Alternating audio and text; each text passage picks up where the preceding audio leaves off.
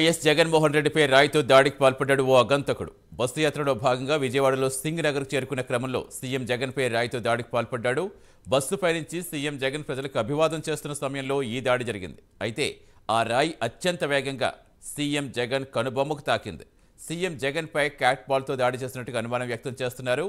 రాయి తగలడంతో సీఎం జగన్ ఎడమ కంటికి కనుబొమ్మపై స్వల్ప గాయమైంది సీఎం జగన్ పక్కనే ఉన్న ఎమ్మెల్యే వెల్లంపల్లి ఎడమ కంటికి సైతం గాయమైంది.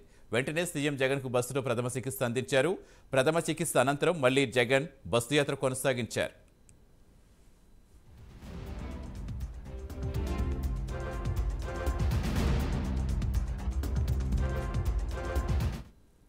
పూర్తి వివరాలు ఇచ్చేందుకు మా కరెస్పాండెంట్ సాంబశివరావు జరుగుతారు సాంబశివరావు అంటే అంతమంది జనంలో ఎవరు ఇస్తారనేది కట్టుకోవడం కొంచెం కష్టమైన అసలు ఎంతవరకు వచ్చింది? అసలు ఎటు సైడ్ నుంచి వచ్చింది అనేది ఏమైనా కనిపెట్టారా? ఏం చెప్తున్నారు?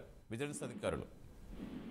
సతీష్ మనం చూసినట్లయితే సీఎం జగన్మోహన్ రెడ్డి మేమంతా సిద్ధం. బస్సు యాత్ర ఈ రోజు విజయవాడ చేరుకుంది. విజయవాడలో సింగనగర్ చేరుకోగానే అక్కడ ఉన్నటువంటి పరిసర ప్రాంతాల్లో ఒక గజమాల ఒకటి ఏర్పాటు చేయడం ఉన్నాడు ఆయన బస్సు పైకి వచ్చి అపవాదం అలాంటివి చేయడం కూడా జరిగింది. తదనంతరం కూడా బస్సు ముందుకెళ్తున్న క్రమంలో ఒక ఆకతా ఎవరైతే ఉన్నారో ఆయన సీఎం జగన్ పై క్యాట్ బాల్ తోటి దాడి చేస్తున్నట్లుగా కూడా తెలుస్తోంది. రాయి తగిలినతో ఎంబటి జగన్మోహన్ రెడ్డికి ఎడమ చే ఎడమ కంటికి పై భాగంలో కొద్దిగా దెబ్బ చిన్నపాటి దెబ్బ తగిలింది. పక్కన ఉన్నట్టు ఎలంపల్లి కూడా అతనికి కూడా ఎడమ కంటికి పైన కూడా చిన్న దెబ్బ తగిలినట్టు తెలుస్తోంది.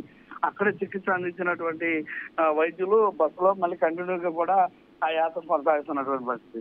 ముఖ్యంగా మనం చూస్తున్నాం ఆ బస్సు యాత్ర జరుగుతున్న సమయంలో రోడ్డు ముందంతా కూడా ఏదైతే ప్రచార రథానికి ప్రచార రథమును మరి అదేవిధంగా అనౌన్స్మెంట్ చేసేటటువంటి మైక్ తోటి డీజే సౌండ్స్ తోటి ఒక వెహికల్ వెళ్తా ఉంది. దాని వెనక దాని ముందు పక్క నుంచి ఎడం పక్క నుంచి రైట్ సైడ్ నుంచి కూడా చూసినట్లయితే అక్కడ ఒక ఆగంతకుడు వేసినటువంటి రాయి తగిలినట్టుగా మనకు తెలుస్తుంది అంటే ఆ దానికి సంబంధించి ఫుటేజ్ అయితే ఇప్పుడు అయితే పోలీసులు అయితే స్వాధీనం చేసుకున్నటువంటి పరిస్థితి.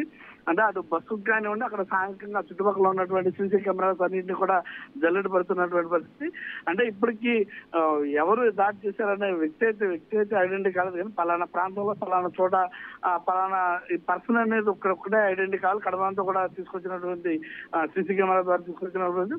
మరి కొద్దిసేపట్లోనే మరి గంటల వ్యవధిలోనే యొక్క ఎవరైతే ఆగంత కూడా ఉన్నారో ఆగంతను పట్టుకునేటటువంటి ప్రయత్నాలు అయితే పోలీసులు చాలా ముమ్మరం చేసినటువంటి పరిస్థితి.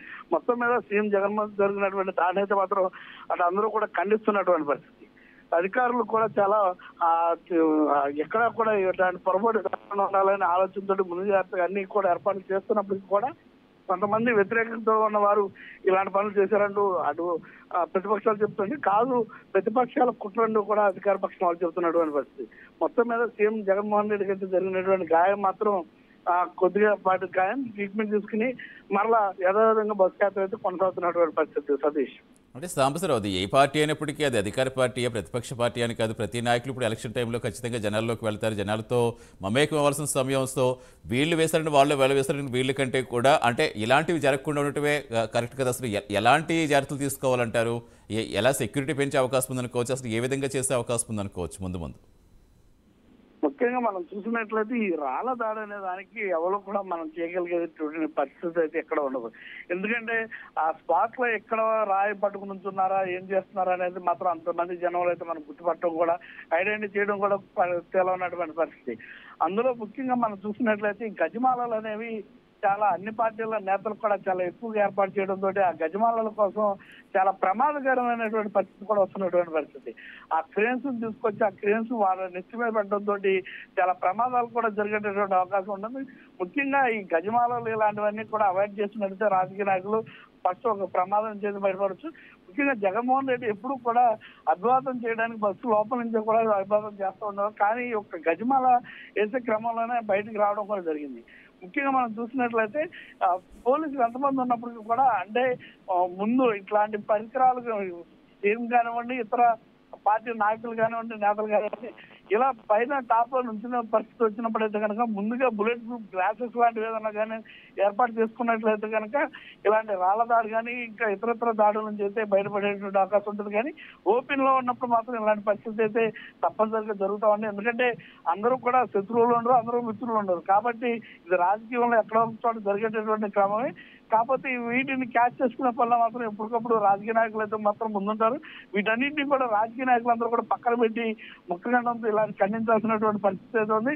అదేవిధంగా భద్రతా చర్యల్లో కూడా పోలీసులు కూడా ముందస్తు అక్కడ ఉన్నటువంటి ఇంటెలిజెన్స్ పోలీసులు ఎవరైతే ఉన్నారో వాళ్ళందరూ కూడా ముందుగా చూసుకుంటూ వెళ్తూ ఉంటారు కాబట్టి వారు కూడా ఇంకా కాస్త జాగ్రత్తగా ఉన్నట్లయితే ఇలాంటి ఘటన జరగకుండా ఉండేటువంటి అవకాశం కూడా ఉంటుంది. ఎందుకంటే వాళ్ళు మస్కీలో ఉంటారు ఎవరి చేతిలో ఏముందనేది కూడా ఐడెంటిఫై చేస్తూ ఉంటారు.